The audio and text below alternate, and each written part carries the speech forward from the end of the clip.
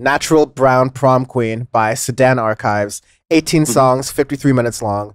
Sudan Archives has been always mixing around like neo pop, also known as R&B, um, rap, soul, uh, violin, which has always been kind of fun. And through Natural Brown Prom Queen, you kind of get a lot of the best implementation of all of that. There's some really interesting songs on here, and for a second album, Curse, uh, I think that there's a lot on here that really shines. It's a really good listen.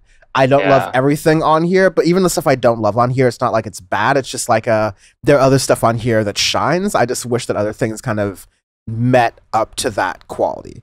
Um, sounds like filler. It's not quite. We hit this point a lot of times on reviews where we, yeah, we just realize, oh no, this artist is really, really hitting. Uh, why be not better? So we're gonna have to really like definitely not better. yeah, we're, we're gonna have to actually. Oh, this is a really good kid. We're gonna have to break out the advanced placement chart because we're actually gonna have to pay attention to them and actually grade them this time. Uh, so yeah, that's kind of saying this is really, really high up there as far as quality. Um, so yeah, let's get into it. I think Homemaker of all the three album intros Ooh. we've done this year, Great I mean, done this week. No, no contest, but like, yeah, Oh. greatest. It's really, really good opener. I love it. It's that beautiful neo pop, just gets that flow going. You hear it, you just want to move, you want to bop. It's beautiful. Beautiful opening track. Really like it. Yeah. And then the rest of the songs, are like the rest of the songs, but also like two, three, four, NBPQ, Is This Real is kind of like an interlude thing. And then Ciara, they really kind of take you into a couple of different blends and a couple of different of ways in which Sudan Archive is going to present the album to you. I really loved Selfish Soul the most um, on the record here. It's one of the lead singles. And it track. yeah, it, it sounds really almost like dare I say like it could be a Beyonce track just in production. It sounds like really loud, has like a lot of Yeah. clapping behind it. Like it just like it really makes use of 808s in a way that a lot of music is doing where it's kind of subtracting sound to give production to it. Really the production on here is top notch and it sings on songs like Selfish Soul. And then right after that you have loyal EDD, which I love the first lyrics to it. It's like instead of contrasting like a woman who's super loyal to a man or something, it's a woman who's super loyal to her unemployment benefits because she has freedom Yeah. from that.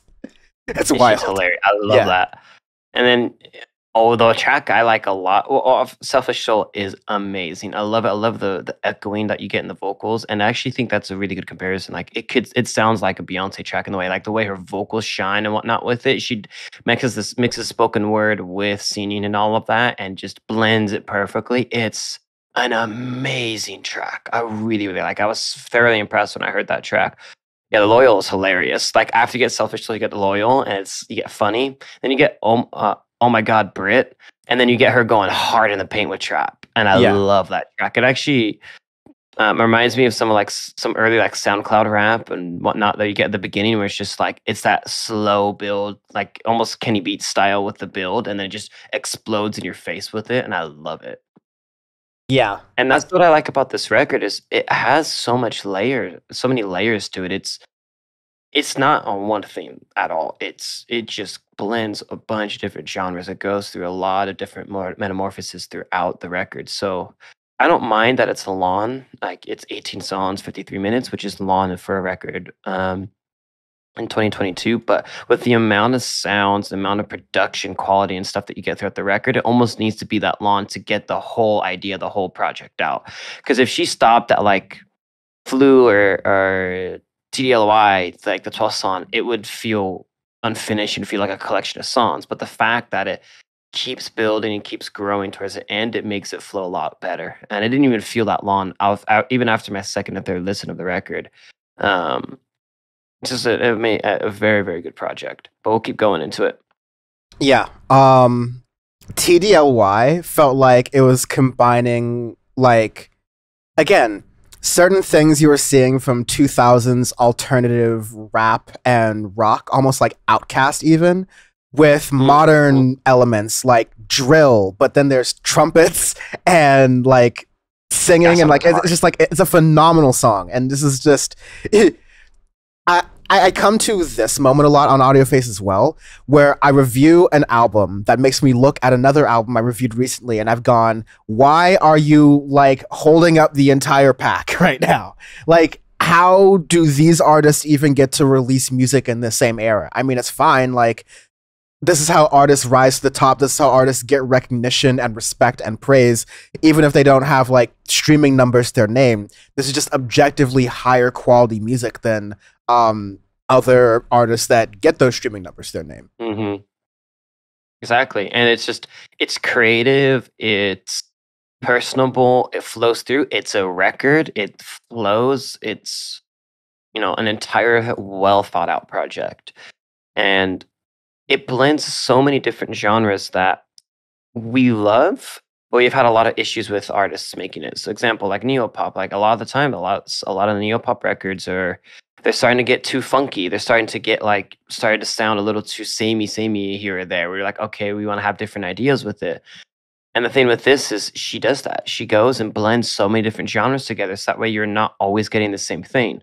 Example, like you go from TDLY, then you have an interlude of Do Your Thing, and then you have uh, Freakalizer, which is a hilarious track. Mhm. But again, like the way that those two tracks are completely different, but the way that they're brought in together with that interlude, it makes it work, and they still fit together in that way. Um, and even though you have tracks like that, Freakalizer and Oh My God, Britt, which are totally two different tracks, they fit so well on this project, on the whole record. So it's just another testament to Sudan Archives, like the ability to make it through, and the fact that it's a second record is extremely impressive. Yeah. There are certain execution things that weren't my favorite. Like I didn't like Freakalizer. I mean, you go through the lyrics of it, it's just like rhyming Freakalizer, Tranquilizer a bunch of times. It's sort of like, okay, sure, I get it. Kind of gets old to me at a certain point.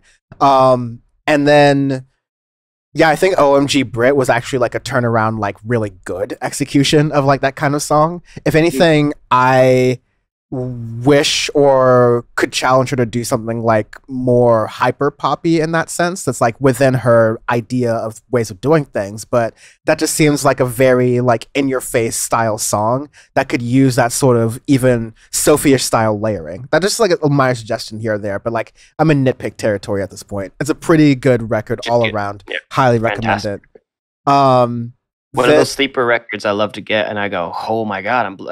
just like last week. I'm impressed, and I love that. Yeah. Arbitrary scale. This is our um uh Adam Levine sex. This is my holy fucking fuck that body of yours is absurd. Damn it, that's what I was gonna do too. You always hold your fire and save your best for uh lately the last album's been the better one, but you know. You know, this isn't. This is allegedly naming, wanting to name your unborn child after the your mistress. Find God, Adam Levine. I don't even needs to go to church. Like he needs to have like holy water poured on him by the Pope. he needs to be waterboarded by the Pope, man. like pointy jail. Repent, repent, repent.